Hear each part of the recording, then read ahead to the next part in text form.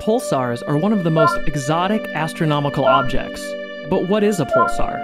To understand more about a pulsar, we first need to know more about neutron stars. Neutron stars are only around 12 miles in diameter, but have somewhere around one and a half times the mass of our Sun.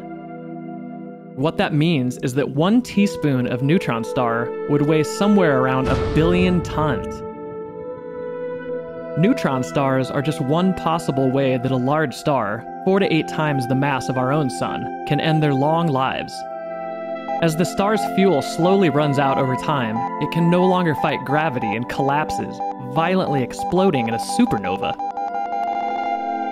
The star collapses so hard that its shell is completely blown off, and the protons and electrons in its remaining core are smashed together to form a tightly packed ball of neutrons. During this wild explosion, the remaining neutron star is put into a spin. And just like a figure skater begins to spin faster as she pulls her arms in towards her body, as the star's mass is compressed more and more, the neutron star begins to rotate faster and faster. In physics, this is known as the conservation of angular momentum. And the result of this is a neutron star spinning fast. Very fast. Even hundreds of times per second the neutron star now contains a tremendous amount of energy. So much energy that it hmm? begins to shoot jets of particles out of its poles. And these jets create extremely strong beams of light. For a long time, scientists were confused because they would detect pulses of light in the form of X rays, blinking in consistent intervals, but couldn't explain why.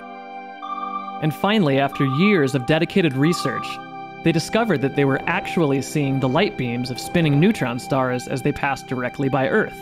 Kind of like a lighthouse's beacons being seen by a ship on the sea. Scientists now realize that many, if not all, neutron stars produce these light beams. However, not many of them, very few in fact, cast their beams directly towards Earth. Mm-hmm. Therefore, we refer to neutron stars that allow us to detect their beams as pulsars. But regardless of their spin, eventually neutron stars and pulsars gradually slow down and finally come to a stop. Their jets turn off and their beams are no longer shining. They simply lie dormant and virtually undetectable in space. Since their discovery in the late 1960s, nearly 2,000 pulsars have been detected, Inevitably, we'll continue to discover more and more of these unusual objects. And as we continue to gain more of an understanding about pulsars and neutron stars, we also gain a better look into how stars mysteriously end their long lives.